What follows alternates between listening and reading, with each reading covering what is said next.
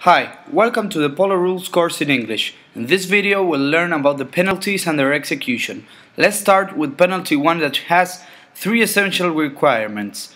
That 1. That the foul is done near the goal. 2. The foul was done to avoid an opponent's goal. And 3. That the foul is dangerous or with, or with a clear intention. Here we see a dangerous foul near the goal and to avoid an opponent's goal. Pasó recién, es un penal 1, no sé si alguna vez vieron eso. Sí, se da gol directo. Es gol y throwing, ¿ok? No, no se cambia de lado. The goal tres. is written Tres. down in the board and throwing is Throwing given. acá, chicos. Gol y throwing. It's a goal Leo. and throwing given without changing sides. The throwing gives you the opportunity to score another goal like in this case. Let's see two other examples of penalty 1.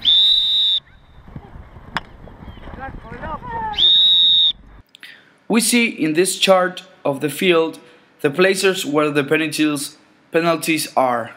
30 yards from the goal is the penalty 2. 40 yards from the goal, penalty 3. 60 yards, penalty 4. Any place in the field in 5A and center of the field 5B. Corner is penalty 6 and it is executed from the 60 yards and in the spot where the ball went out. Penalty 2 can be executed from the exact place where the foul was done or from the 30 yard spot. Let's see some examples where they can choose to execute from actual foul location. Espera que te diga. ¡Juego!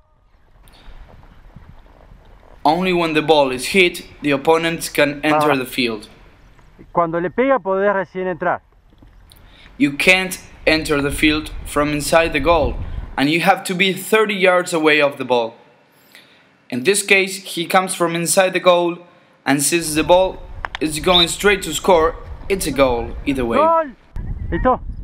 ¡Juego! Here he tries to avoid the goal correctly from a 30 yard distance, but the second, third, and fourth players come from inside the goal. Penalty is done again. Here the ball is going straight into scoring. The player comes from less than 30 yards and between the posts. Goal. Ball is going out, but since the player comes from in the goal, it's gonna be thrown again. Here you can see a defender player in the field.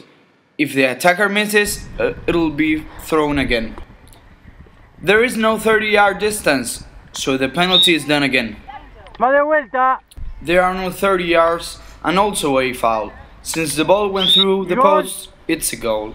You cannot be behind the goal. If penalty is missed, it'll be done again. The attacking players have to be behind the ball. If they are in the palenque, like in this case, they can be part of the game until the play has ended.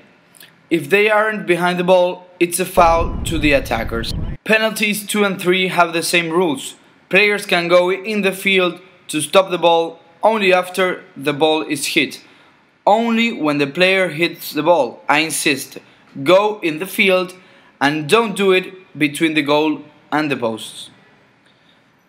If they come in the field to stop the ball before the player hits the ball and the ball was going for the goal, it's considered a goal.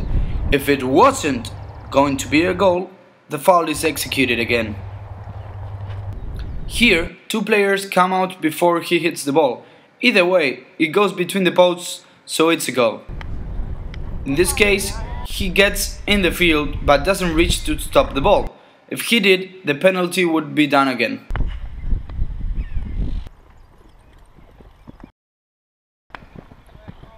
Here, the white player hits, ball hits the post and goes out. Since the light blue player went out early, the foul is done again. Any player can take the second chance. Here, the player is behind the goal. Since the ball goes out, it'll be taken again.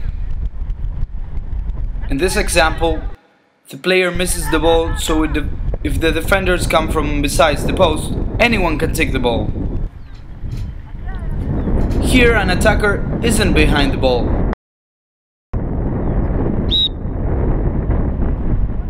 No, tenés que de la bocha. ¡Juego! Therefore, the defender team plays a foul from the center of the goal, like we see in this case. When the post is crooked, you have to imagine it straight to decide if it's goal or not.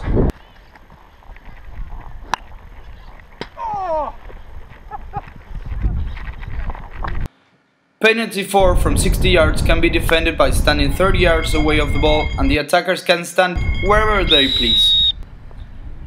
Penalties 2, 3, 4 and 6 have to be executed with only one hit or at least there has to be an intention of hitting the ball only once. If there is intention to hit it more than once, the resolution is a throw-in on the foul, foul spot.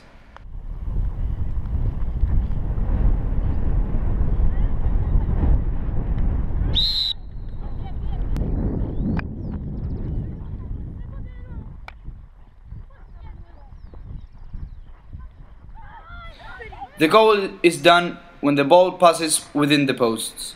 If the ball goes right above the post, it's not considered a goal. Let's see in this case. The ball goes out. There's a corner when a defending team hits the ball with his mallet and goes out. Even though after he hit it, the ball bounced in one horse, a post, or the wooden board but when it bounces off a teammate's or opponent's horse, it's not a corner. Here, it bounces off the white horse of the green player, not a corner. In this case, it bounces off the white horse of the blue player, not a corner. Let's see how a corner is executed from a 60 yard spot on the line where the ball went out. In this case, there is no intention to only hit it once, but making a pass. A throw-in is executed. Hay que pegarle, no un pase. Thank you very much and see you in the next video.